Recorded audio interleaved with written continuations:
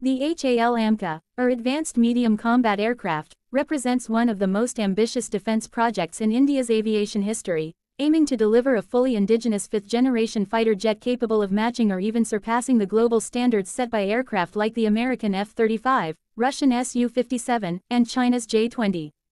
Designed by the Aeronautical Development Agency ADA in collaboration with Hindustan Aeronautics Limited, HAL, the AMCA is not just another combat aircraft but rather a transformative leap in India's defense capabilities. This stealth fighter will serve as a multi-role platform capable of air superiority, ground strike, electronic warfare, and deep penetration strike missions, ensuring that the Indian Air Force has the tools to counter both regional and global threats well into the mid-21st century. Its design philosophy centers around low observability, high survivability, advanced avionics, and superior weapon integration, which are the hallmarks of a true fifth-generation aircraft. The AMCA is being designed with stealth as its foundation, featuring radar-absorbent materials, an angular airframe that reduces radar cross-section, serpentine air intakes to hide engine blades from radar detection, and an internal weapons bay that allows it to carry missiles and bombs without compromising stealth. The aircraft will initially fly with the American GE F414 engines, which are already being manufactured in India under a co-production deal, but plans are in place for a future indigenous or jointly developed 110 kilonewtons class engine to provide enhanced thrust and true supercruise capability. Supercruise, the ability to fly at supersonic speeds without using afterburners, will be one of the defining features that gives the AMCA an edge in both combat efficiency and fuel economy. The maximum speed is expected to exceed Mach 2, while its range and endurance will make it suitable for long-distance missions across the Indian Ocean and beyond, a necessity given India's increasing focus on regional security. In terms of avionics, the AMCA is envisioned as a sensor powerhouse, integrating an active electronically scanned array AESA radar, infrared search and track IRST systems, electronic warfare suites, and advanced communication networks.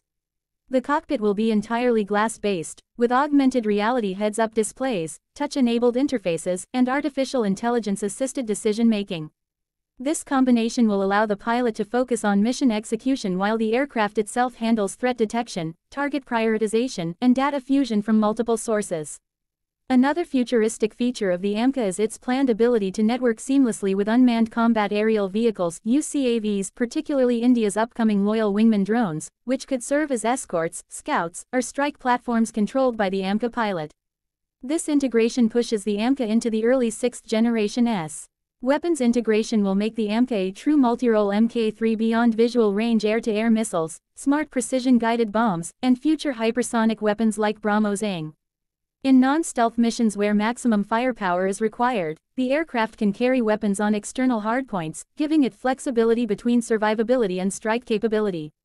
The design also considers naval applications, meaning a future carrier-borne version of the AMCA could eventually strengthen the Indian Navy's air wing. 2026-2027, with the maiden flight around 2028-2029. If all goes as scheduled, limited production may start early in the 2030s, with full-scale induction around 2035. The Indian Air Force has already indicated a requirement for at least 120 to 200 AMCAs, which would make it one of the largest indigenous fighter acquisitions in history. When operational, the AMCA will replace aging jets like the Mirage 2000, Jaguar, and eventually the Su-30 MKI, while flying alongside the Rafale, Tejas Mk2, and unmanned platforms, creating a balanced and modern combat fleet. More than just a weapon, the AMCA symbolizes India's determination to achieve self-reliance in high-end defense technology, reduce dependence on foreign suppliers, and emerge as a leader in advanced aerospace development.